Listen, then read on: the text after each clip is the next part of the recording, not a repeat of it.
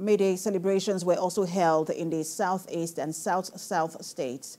TVC News senior reporter Ikenna Amechi captured the events in this report. In Asaba, the different unions participated in the parade at the cenotaph as Governor Oborevwori also joined to celebrate with them. Beyond the fanfare of the celebration of the May 1st Day here in Asaba is the need for an improved welfare and wages for workers. You are aware that there is a negotiation on minimum wage going on.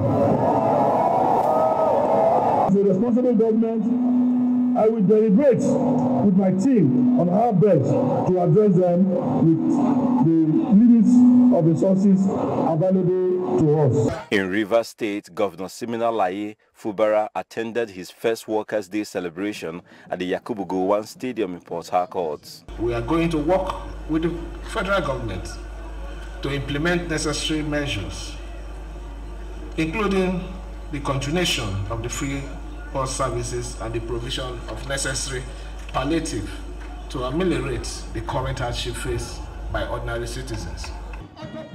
This is Michael Okpara Square, Enugu, the venue for this year's Workers' Day commemoration in the state. Is that our government is committed to doing everything needed to be done to make the welfare of workers better than we met it. The Workers' Day celebration at the Ndubuisi Kanu Square in Owerri afforded Governor Hope Uzodimma the opportunity to deliver cheery news to the workers. For the past 18 years, workers have not received gratuity from 2006.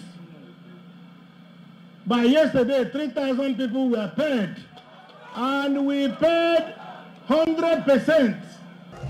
For Governor Alex Otti of Abia State, he recognizes the impact of workers as agents of development and promised to prioritize their welfare. I'm pleased to inform you that we shall take the lead in implementation as soon as a new national wage is agreed. These workers hope that government at all levels will keep to their promises to avoid any counter reaction from them.